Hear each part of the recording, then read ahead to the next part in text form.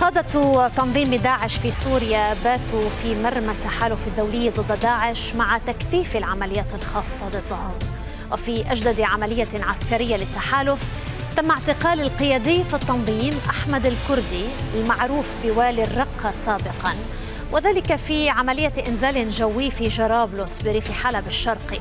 للعملية مشاهدين أهميتان. الأولى أن التنظيم بات مكشوفا والثانية حجم المعلومات الاستخباراتية التي قد يكشف عنها قيادي التنظيم المعتقل فهل يدفع ذلك داعش لتغيير استراتيجياته؟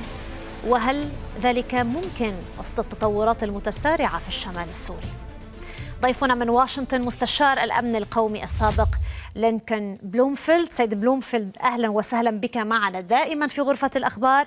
هي ليست العملية الأولى بطبيعة الحال التي ينفذها التحالف. عمليات مشابهة قام بها قتل خلالها كما كلنا يعلم زعيم التنظيم بعدها خليفته.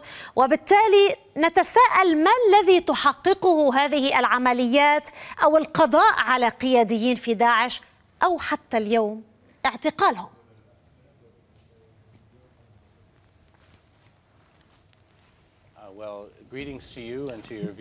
تحياتي لك ولمشاهديك. كما كان هناك تحالف دولي ضد داعش لعدة سنوات هذه العملية تهدف إلى حماية الأرواح المدنيين والأبرياء في الشرق الأوسط وأوروبا وفي العالم ضد الهجمات الإرهابية المحتملة التي يخططها داعش. أعتقد أن الأثر المترتب على هذه العملية التي لم تؤدي إلى أي أضرار جانبيه ولا أي إصابات مدنيين تم اعتقال الكردي. وأثرها سيكون أن داعش سيكون عليها أن تكون أكثر حرصا. ستكون أقل قدرة على التواصل وعلى نقل الأموال ونقل الإمدادات والتخطيط للعمليات الإرهابية. هذا سيصعب عليهم الأمر كثيرا لأنهم يعرفون بأنه يتم مراقبتهم بشكل عن كثب من الولايات المتحدة الأمريكية ومن الدول الأخرى. سأعود للحديث عن هذا التنظيم وعن قدراته في هذه المرحلة بما أنه الجانب الأمريكي لديه الكثير من المعلومات المتعلقة بمدى تمدده، لكن خلينا نغوص قليلا في تفاصيل هذه العملية، المرصد السوري لحقوق الإنسان قال انه العملية بدأت بهبوط مروحيتين قرب المنطقة المستهدفة بقرية الحميرة قرب الحدود التركية. ويتحدث المرصد عن وقوع اشتباكات بين مسلحين مجهولين كانوا مختبئين في قرية بريف حلب أثناء مطاردة عناصر التحالف لهم انتهت العملية سيد بلومفيلد بإلقاء القبض على هذه الشخصية شو المعلومات المهمة التي يمكن لأحمد الكردي أن يقدمها للتحالف؟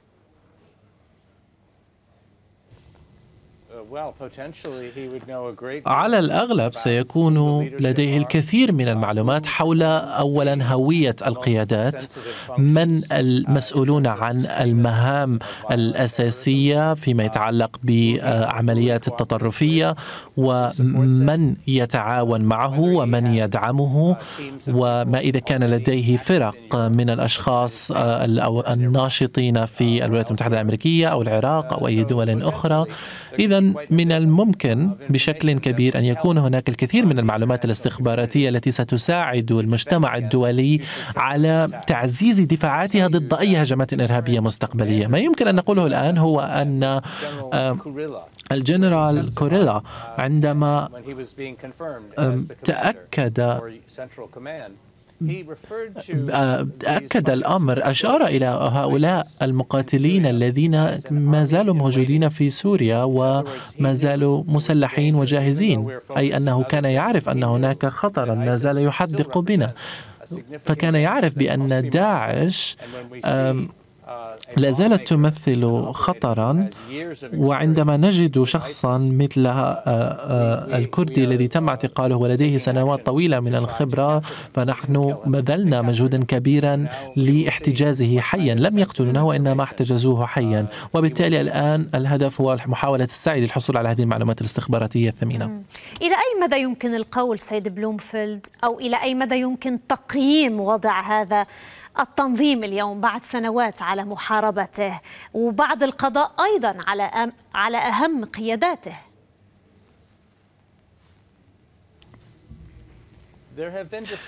كان هناك مناقشات في واشنطن بشأن هذا الموضوع. هناك الكثير من المخاوف لأن هناك عشرات الآلاف من الرجال والأطفال والنساء الذين ما زالوا معتقلين ولا يحصلون على تعليم مناسب وهناك خطر أن يكبر هؤلاء الأطفال ويصبحوا إرهابيين أو متطرفين.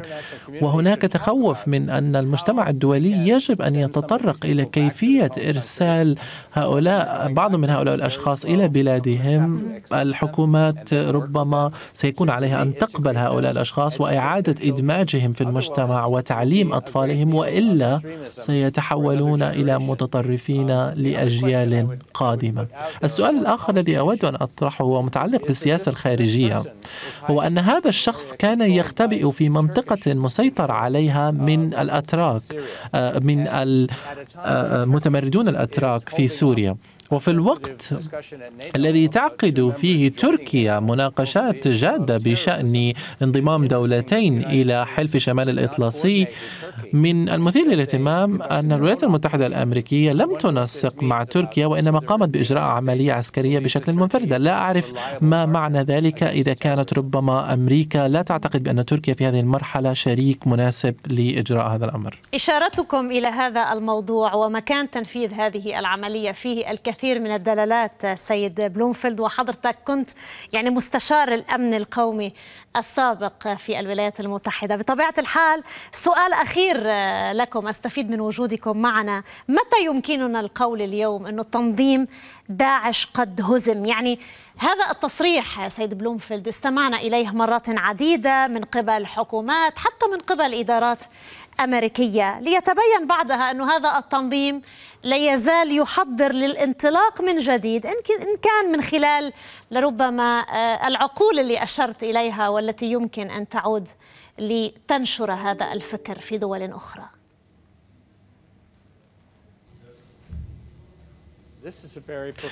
هذا سؤال جوهري للغاية لأن داعش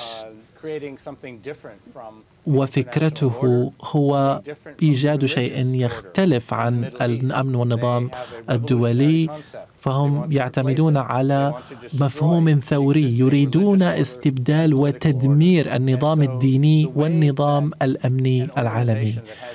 وبالتالي هذه المؤسسة والتنظيم الذي آه، الطريقة الوحيدة التي يمكن تدمير بها هذا التنظيم هو عدم إعطائهم أي أمل لإعادة تأسيس خلافة جديدة من منظورهم أو حتى أن يكون تنظيما آه، آه، منسق. هذا الأمر قد يتخذ وقتا طويلا ولكن يجب أن نقطع هذا الالتزام بأننا سنقاوم داعش ولن نتيح لهم الفرصة لإنعاش وجودهم. ولا يجب أن ننسى هؤلاء الأطفال والنساء الموجودون في هذا المعسكر ونخرجهم من من هذا المكان مع آه، آه، إعادة إدماجهم في العالم المتحضر ولا يتحولوا إلى جيش جديد ينهض في المستقبل ويهدد أمن كل أصدقائنا وحلفائنا من سوريا ولبنان والعراق وما أبعد من ذلك. شكرا جزيلا على المشاركة معنا من واشنطن مستشار الأمن القومي آه، السابق لينكولن بلومفيلد.